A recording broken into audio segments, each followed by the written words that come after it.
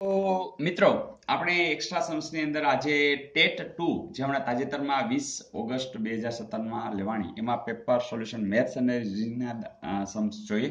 એમાં રિઝનિંગની મેથ્સ તો હશે જ. જે ગણિત વિજ્ઞાનના વિદ્યાર્થીઓ હોય, એને જે પાર્ટ બી છે, એમાં રહેલા મેથ્સના એટલે કે ગણિતના સમ્સ જોઈએ.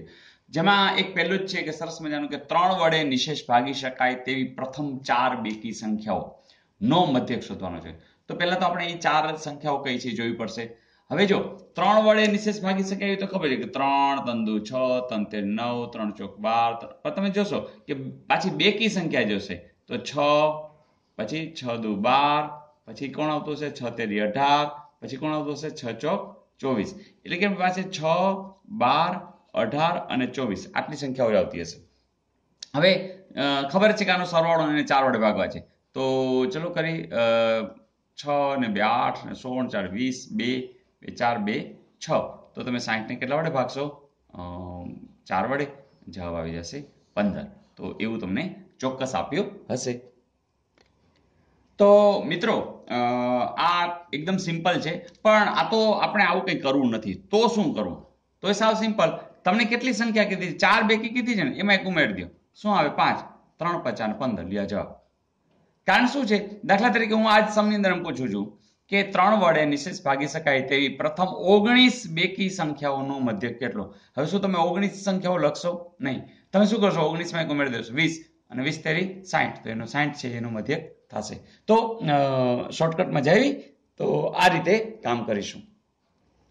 ચાલો, હવે હું તમને પ્રશ્ન પૂછું છું. મોઢે જ જવાબ દેવાનો છે, ઝડપથી દેવાનો છે. ચાલો, ત્રણ વડે નિશેષ ભાગી શકાય તેવી પ્રથમ નવાણું બેકી સંખ્યાઓનો મધ્યક કેટલો થાય? ચાલો કહી દો યસ તમે સાચા છો. તમે નવાણુંમાં એક ઉમેરી દીધા છે, સો કર્યા છે, સો ને ત્રણ વડે ગુણ્યા છે, અને જવાબ છે ત્રણસો. અને એ સાવ સાચું છે. ને મિત્રો, એક આ પણ પૂછ્યું છે, ઓગણીસ હજાર છસો ત્યાસી નું ઘનમૂળ શું થાય? મિત્રો, હું તરત જ વિચારું કઈ તગડો છે ને? એટલે આ તો જાણે ગયું. કારણ કે છેલ્લો અંક તો સાત જ આવવો જોઈએ. અને બીજું કે ઓગણીસ હજાર છસો ત્યાસી છે એટલે હું તરત વિચારીશ કે ત્રીસના ઘનથી ઓછું છે, એટલે કે આ આવી જશે. એટલે ખાલી બે સેકન્ડમાં જવાબ મળી જશે. તમને પણ હું શીખડાવી દઉં સિમ્પલ વસ્તુ કે અહીંયા તગડો હોય ને એટલે છેલ્લો અંક સાત જ હોય. તો તમે કહેશો કેવી રીતે? એ હું હમણાં તમને કહું. બીજી એક વાત કે તમને ખ્યાલ છે કે જ્યારે તમને આવા આપ્યા છે વિકલ્પો, તો આ સત્યાવીસ એટલે ત્રીસથી ઓછું છે. આ સત્તર છે એટલે વીસથી ઓછું છે. સાડત્રીસ એટલે ચાલીસથી ઓછું તો છે જ. હવે તમને ખબર છે કે ત્રીસનો ઘન કરો તો ત્રણ તેરી નવ તેરી સત્યાવીસ હજાર થાય. વીસનો ઘન કરો તો બે દુ ચાર દુ ને આઠ હજાર, બરાબર? અને ચોકે ચોકે સોળ ચોખ્ખું ને ચોસઠ હજાર. તો આનાથી ઓછું હોય નજીક હોય એવું કોણ થાય? તરત જ કહી દેશો આઠ હજારથી ઓછું તો નથી. ચોસઠ હજારથી તો ઘણું બધું આગું છે. તરત જ ખબર કે સત્યાવીસ હજારથી ઓછું નજીકમાં છે. એટલે કે તમે તરત વિકલ્પ આ સત્યાવીસ પસંદ કરી લો મિત્રો આ ઘન અને ઘનમૂળ વિશે આટલો તમે ખાસ યાદ હોવું જોઈએ. હું ફરીથી ઘન અને ઘનમૂળ વિશેની વાત કરું છું. એના છેલ્લા અંકને આધારે પણ તમે કામ કરી શકો. જેમ કે આપણે સંખ્યાઓ લખી. શૂન્ય, એક, બે, ત્રણ, ચાર, પાંચ, છ સાત.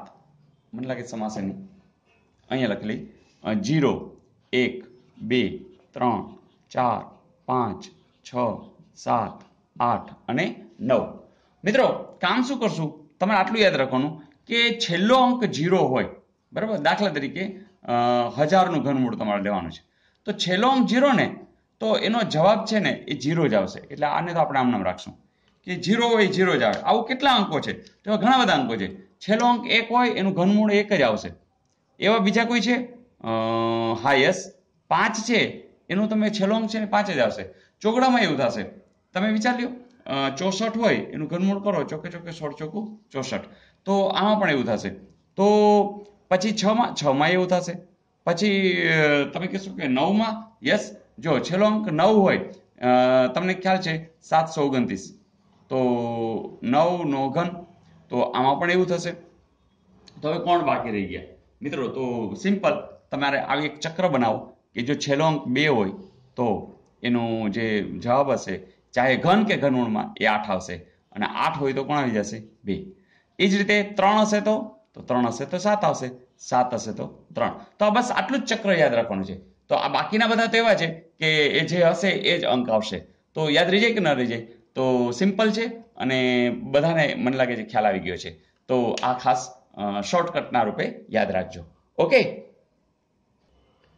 ને ત્રીજો દાખલો છે, પાંચસો છાઉતેર ને નાનામાં નાની કઈ સંખ્યા વડે ગુણવાથી મળતી સંખ્યા પૂર્ણ ઘન બને. મિત્રો, તમને યાદ છે કે એના આપણે પાંચસો છાઉતેરના અવયવો લઈ છીએ અને અવયવોના આધારે આપણે જોડીઓ રચીએ છીએ. જેમ કે ચાલો, બે ચાલશે, બે દુ ચાર, એકડો વધશે સત્તર, આઠ દુ સોળ, એકડો વધશે આઠ દુ સોળ. ફરીથી બે, એક, ચાર ચાર, હજી બે ચાલશે, સાત દુ ચૌદ, બે, હજી બે ચાલશે, ત્રણ દુ છ છ દુ બાર, હજી બે ચાલશે હજી બે ચાલશે, હવે બે નહીં ચાલે. તો કંઈ વાંધો નહીં, ત્રણ લ્યો. તો હવે બસ પૂરું થઈ ગયું. હવે આ જે સંખ્યા મેળવીને એમાં આપણે પૂર્ણ ઘન છે. ઘન હોય ને તો તંતનની જોડી રચવાની. ચાલો, આ જોડી તો રચાઈ ગઈ. બરાબર? આ જોડી પણ રચાઈ ગઈ. જો આમાં ઘટતા હોત તો આપણે ગુણ એટલે કે બે જ હોત ને અહીં બે બગડા આપ્યા હોત, તો હજી એક ઘટતો હોત, તો આપણે એક બે વડે ગુણત. તો આ તો રચાઈ ગયા અહીંયા ત્રણની જોડી થતી નથી. કેટલા ઘટે છે? તો કે ત્રણ ઘટે છે. એનો અર્થ કે જો ત્રણ વડે તમે ગુણી નાખો, તો અહીંયા આપણે તંતનની જોડી બધાની મળી જાય. એટલે કે પાંચસો છાઉતેરને તમારે કેટલા વડે ગુણવા પડે? ત્રણ વડે તો આપણને એ જવાબ મળી જશે. તો મિત્રો, મજા આવી? બસ બાકીના સોલ્યુશન પણ આપણે જોઈ લેશું. તો બસ તમારા વીડિયો જોતા રહો અને ખાસ કરીને તમારા મિત્રોને શેર કરતા રહ્યો. તો અને કોમેન્ટ્સ તો જરૂર લખજો, કારણ કે મને ખ્યાલ આવે કે તમને કેવી મજા આવી રહી છે. Okay all the best